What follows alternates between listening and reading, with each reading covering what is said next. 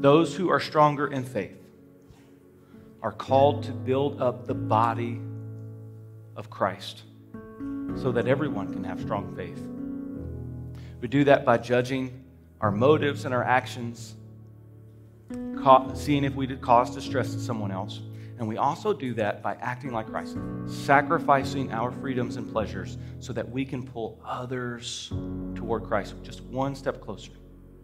Your call to action this, this week is just to act like Christ and not having to have the last word. When you hear something that causes your blood to boil, or you hear something you disagree with, or you even know something is wrong, practice the discipline of being quiet and trusting God.